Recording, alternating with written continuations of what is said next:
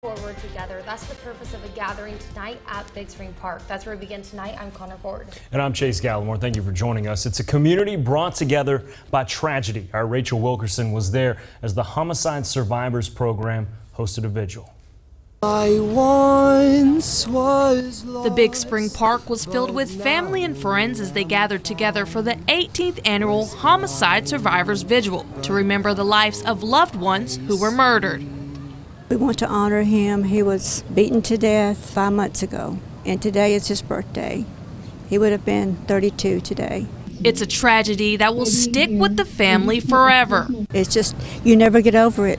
You never get over it. It goes through my mind a hundred times a day. I can be doing whatever I'm doing, but then all of a sudden, there's that one moment that you go back and think of him and ask why.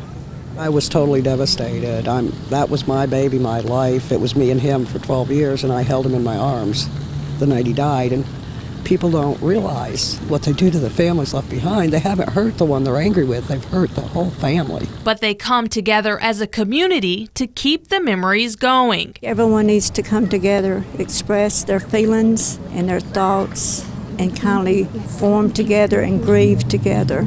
And to bring awareness to the violence in the Tennessee Valley. We have to support each other because to me, this is a war. We're losing children in numbers unbelievable. I mean, I've got 45 on this shirt, and I've got five more to add.